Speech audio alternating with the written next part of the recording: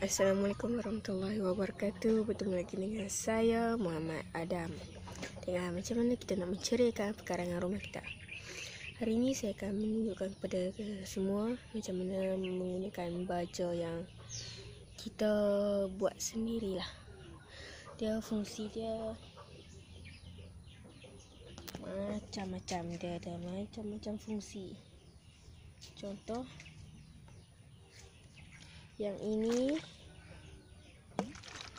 kita buat baja ni daripada buah-buahan. Ni. Kita buat daripada buah-buahan. Yang ini kita buat pada sayur-sayuran. Okey, sekarang kita akan tunjukkan macam mana kita nak gunakan baja yang kita buat daripada buah. Okey. Air. Satu setengah. Air satu setengah liter. Masukkan dua tutup. Pastikan sebelum guna goncang dahulu. Ok lepas tu kita akan gunakan baja ini saya beli itu RM15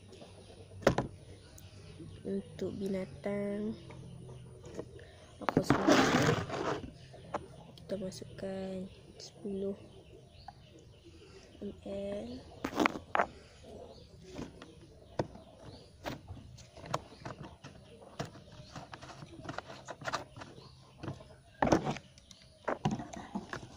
kita tutup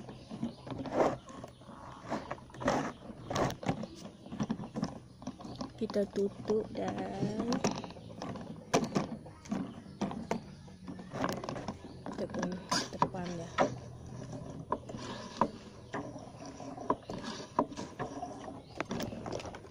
Kita goncang kita goncang. Dan kita boleh spray dekat pokok lah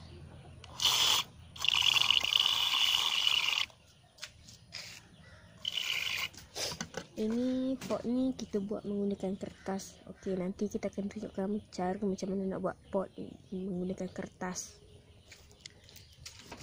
Sekarang kita menggunakan baja yang kita dah buat tadi untuk spray dekat pokok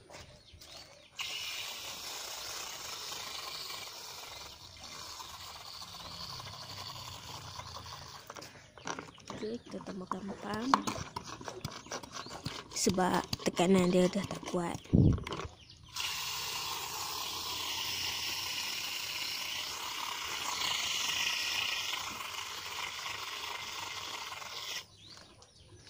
Okey, pam ni saya beli hari tu dengan harga RM9.5. Okey, Assalamualaikum warahmatullahi wabarakatuh uh, sila subscribe dan like video yang saya buat untuk kita memastikan pekarangan rumah kita menjadi pekarangan yang sihat.